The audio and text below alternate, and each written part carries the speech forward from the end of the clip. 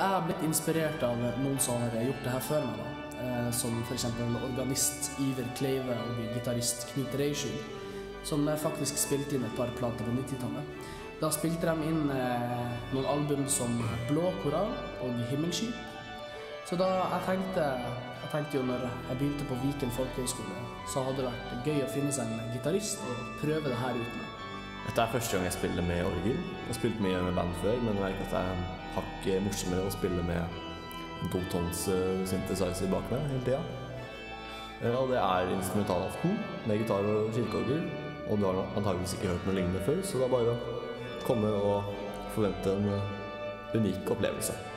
Konserten er i Gjøvik kirke den 27. oktober klokka åtte. Nå på fredag. Nå på fredag.